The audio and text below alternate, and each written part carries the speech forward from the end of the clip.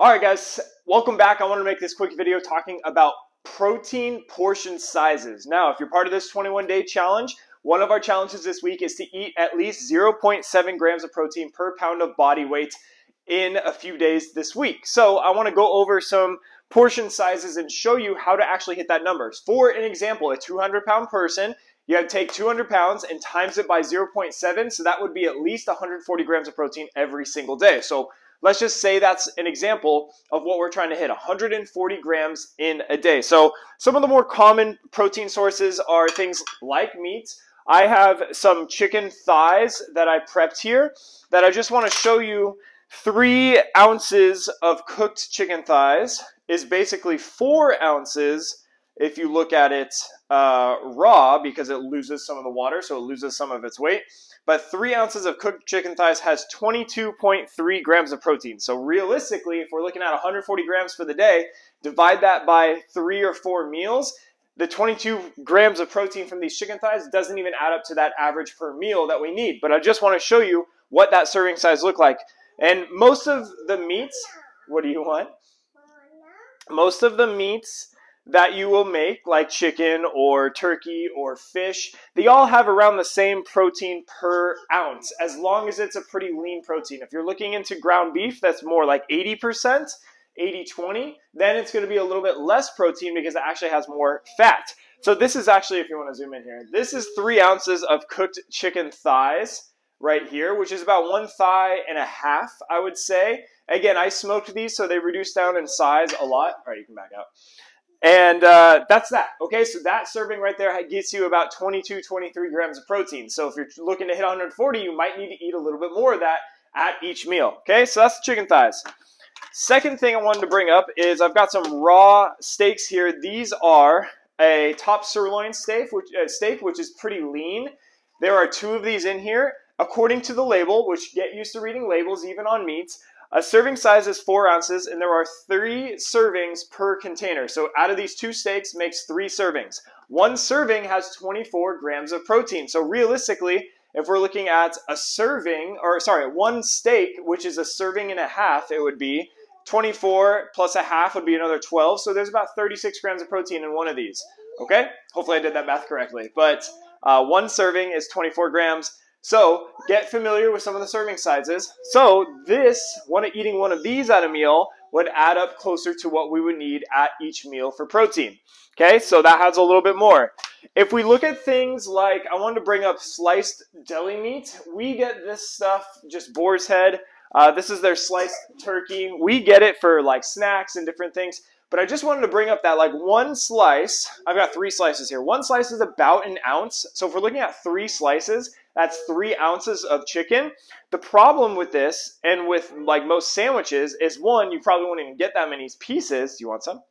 And that these three ounces of chicken, the way they slice it, according to MyFitnessPal, only has 15 grams of, of protein in it. So you're really gonna have to up it even more and get more slices of chicken or more slices of turkey to hit that protein number of that 25 or 30 or 35 or 40 grams of protein per meal. Okay, so I just wanted to bring that up for people who enjoy sandwiches and wraps. You really got to pack on those sliced uh, meats, and using something like MyFitnessPal will help you keep track of that. Okay. Next up, what I wanted to bring up is tofu because tofu is a um, protein source that a lot of vegetarians and vegans use.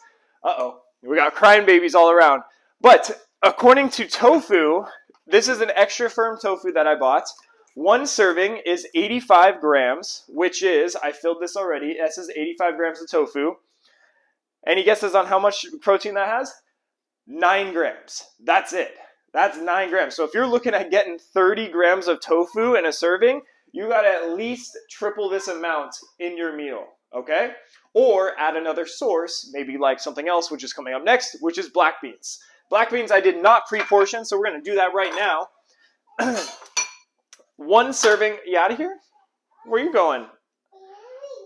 One serving of these black beans, which is another popular protein source for vegans and vegetarians, is 130 grams, and that's going to get you eight grams of protein. Okay, so not even that many. So let's do this really fast. We got some crying babies. You want to, yeah, you can get that really quick. So I'm going to fill this while Lauren helps out Camden there with 130 grams of black beans.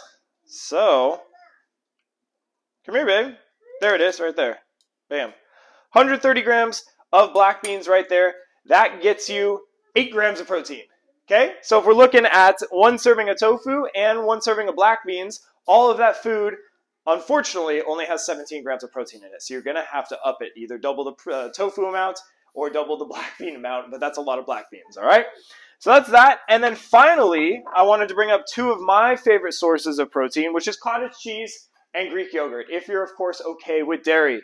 One serving of cottage, or sorry, one serving of Greek yogurt is 170 grams. I'm not going to put that out right now. Just think it's a little bit more than the black beans. That will give you 17 grams of protein. Okay, so super rich uh, protein, which is Greek yogurt. Another one of my favorites that I love for smoothies, for bowls, whatever it is, is cottage cheese. A serving of cottage cheese is 113 grams so a little bit less than the, the uh, serving size of Greek yogurt, and only has 13 grams of protein. But that's still 13 good quality grams of protein right there. So this can be an important part, either Greek yogurt or cottage cheese, of a breakfast, a high protein breakfast that you can do that will help you get to your protein goal for the day. Okay? So main takeaways here. Make sure you are uh, getting the right portion size in. If you don't have a food scale, then I encourage you to buy one. They're only like 15 bucks on Amazon. Or get used to the palm size serving, which is about three ounces. So that three ounces is a, the equivalent to about 22 grams of protein, as we discovered with the, the chicken thighs. So that's number one. Get used to the portion sizes. Number two, read food labels. All right, whether it is your ground beef package, whether it is black bean label, whether it's your tofu, see the serving size and see the amount of protein that comes with it. Okay? And lastly, add variety. One thing I didn't bring up is that one egg has just six grams of protein. So if you're someone who likes eggs for breakfast, maybe a couple eggs, maybe some egg whites as well for extra protein. Or you do eggs plus cottage cheese or a serving of Greek yogurt to get you that protein amount that you need. All right? I hope you found this helpful. Let me know what questions you have on protein. Uh, but that's that. Let's hit those protein goals this week, and I'll see you for the next video.